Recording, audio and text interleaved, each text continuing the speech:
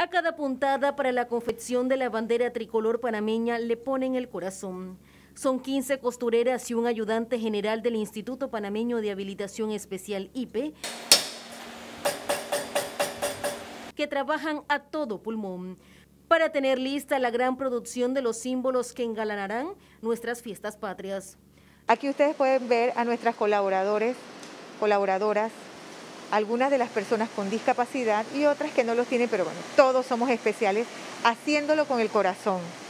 Aquí ustedes la ven todo el tiempo dedicadas a hacer banderas. Trabajando extra hasta las 6 de la tarde para engalanar la, los hacer, cumplir con los pedidos que tenemos porque cada vez que sacamos un pedido nos llega otro pedido nuevo y hay que cumplir con los pedidos.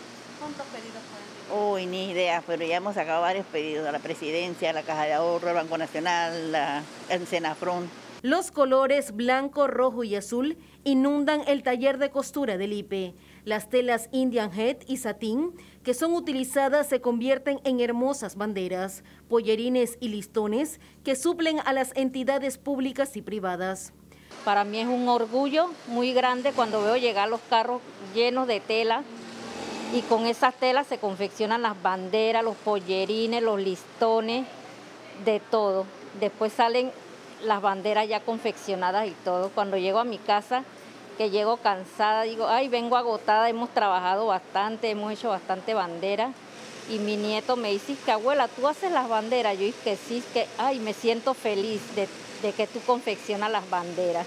Un arduo trabajo que realizan las operarias con patriotismo, profesionalismo y contra el reloj al confeccionar un amplio volumen de banderas en tamaños desde 8 por 12 hasta 72 por 108 pulgadas.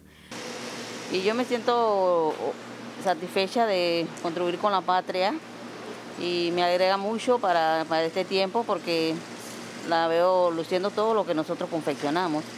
Para alcanzar la producción, se divide en el trabajo en fases, que inicia con una máquina que corta la tela en bloques de 500 unidades. Se le da un bulto de 40, 50 banderas a cada operaria y ella la van armando por su color rojo con blanco, azul con blanco, después la unen y la terminan. Después le ponen la lona y pasa a la mesa de estrella, donde se le pone la estrella, después pasa de nuevo a la máquina para bordarle la estrella.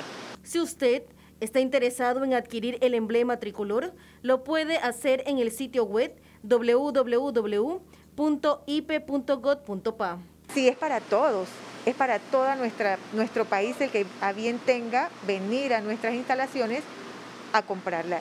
Pues hay de todo tipo, de diferentes tamaños, y aquí siempre se van, a, se van a confeccionar las banderas para nuestro país. Es abierta para todo el público. Son hombres y mujeres con y sin discapacidad que hacen patria todos los días frente a su máquina de coser. Angie de Gracia, Telemetro, reporta.